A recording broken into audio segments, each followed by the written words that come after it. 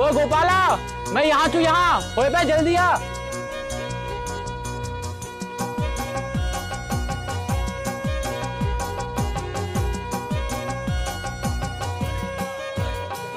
अरे यार, तू तो मेरा बचपना दगड़ी छे। हाथ किलो मिलाने थे तू।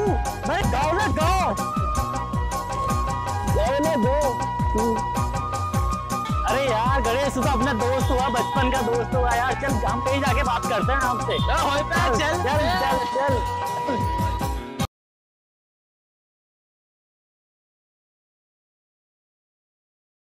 यार यहाँ कितनी शांति है ना।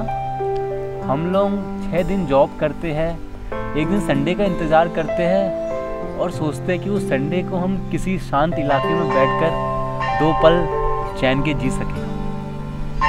हाँ ये तो है यार। भाई तुझको भी तो तीन साल हो गए हैं यहाँ आए हुए। घर नहीं गया है कब जाने की सोच रहा है गाँव? यार जॉब की तलाश में यहाँ आया था। जॉब भी मिल गई। पर न जाने ये तीन साल कब बीत गए कुछ पता ही नहीं चला। हर महीने घर में पैसे भी भिजवाता हूँ। पर न जाने आज भी कुछ कमी सी मुझे लगती है। मुझे अपने गाँव की बहुत याद आती है। पर मैं यहाँ नौकरी सिर्फ़ इसलिए कर रहा हूँ ताकि मेरा घर चल सके। अगर सरकार हमारे गाँव में रोज़गार की सुविधा को अच्छी कर दे तो कौन अपना गाँव छोड़कर यहाँ आना चाहेगा, इस पॉल्यूशन में आना चाहेगा?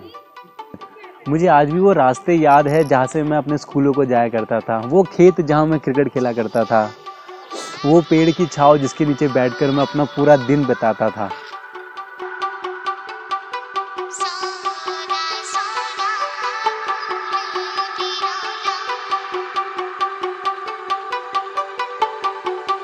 एजी सार्यूं म फूली गे होली, फ्योली लैण मैं घर छोड़्यावा एजी घर बोण बड़ी गे होलू, बालू बसंत मैं घर छोड़्यावा एजी सार्यूं फूली गे होली।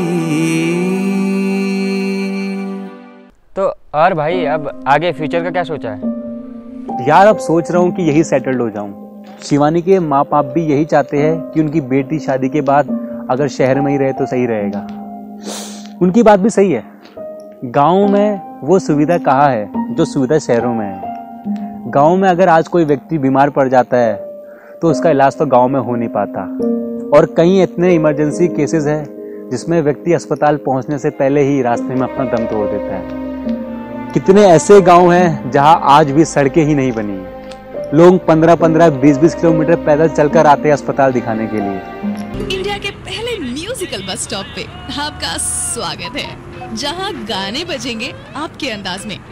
चाहे आप पैदल हो कैब में हो मेट्रो की भीड़ में हो या फिर बस की कतार में बिग एफएम के साथ बदलेगा सुनने का अंदाज। ये ज़िंदगी उसी की है।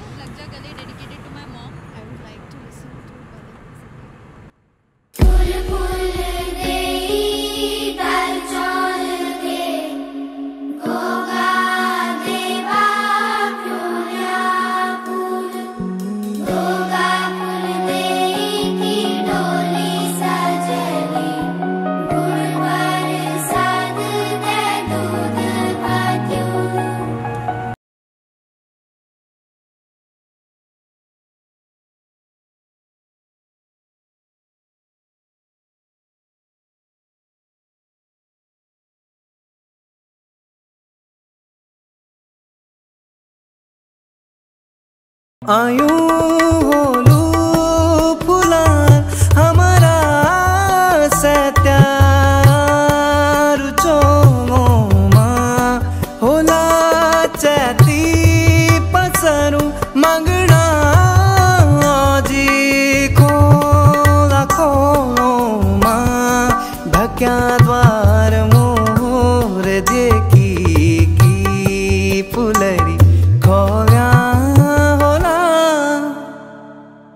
यार मुझको एक बात समझ में नहीं आती है।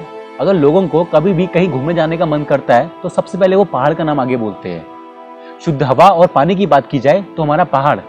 खाना कहीं का पसंद आता है तो हमारे पहाड़ का।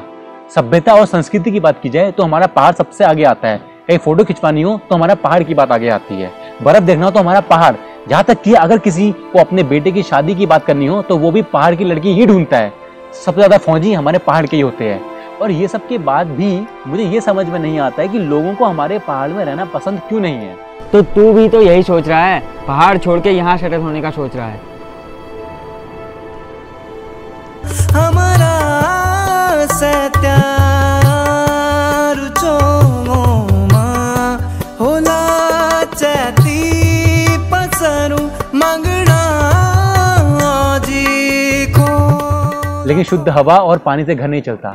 जानता है ना, एक मिडिल क्लास आदमी की कमाई कितनी होती है, उसकी बेटे की पढ़ाई जितनी अगर वो दस तक कर सके तो उतना ही कमाता है। इंटर तक तो इंटर तक ही कमाता है। और कॉलेज तक तो कॉलेज तक ही कमाता है। 20 साल स्कूल फ़ीस कॉलेज फ़ीस देकर, रोज पॉकेट मनी देकर, हर साल uniform shoes tie pen pencil graph marksheet glace paper India का मैप ये सब करने के बाद मेरे फादर पूरी ज़िंदगी का जो पैसा लगाते हैं, वो सिर्फ़ बदले मुझसे एक ही चीज़ चाहते हैं, वो है अच्छी नौकरी।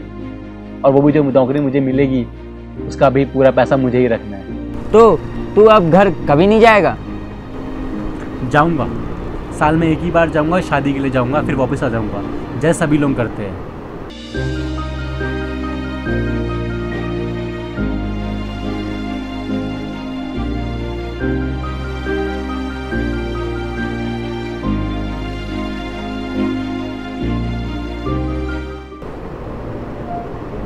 अभी नहीं तो आज से कुछ साल बाद मैं सोच रहा हूँ गाँव जाके एक स्कूल खोलूँ और वहाँ के बच्चों को वो शिक्षा दूँ जिनका उनको हक है। वो है अच्छी पढ़ाई का।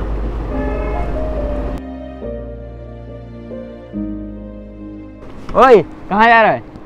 घर जा रहा हूँ। मैं भी आऊँ? वहाँ घूमेंगे फिरेंगे फ़ोटो खिंचवाएँगे। चल फिर आजा।